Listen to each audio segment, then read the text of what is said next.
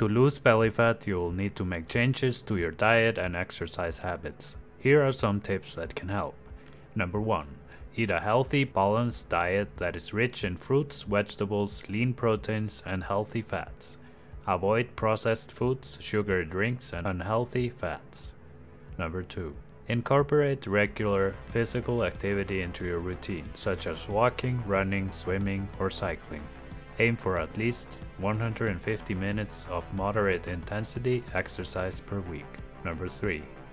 Try incorporating resistance training into your routine, such as weightlifting or bodyweight exercise. This can help increase muscle mass and boost your metabolism. Number 4. Reduce your overall calorie intake by eating smaller portions and avoiding high calorie snacks and desserts. Number 5. Drink plenty of water to stay hydrated and to help your body burn fat more efficiently. Remember, losing belly fat takes time and patience. Be consistent with your diet and exercise habits and be sure to check with your doctor before starting any new fitness program.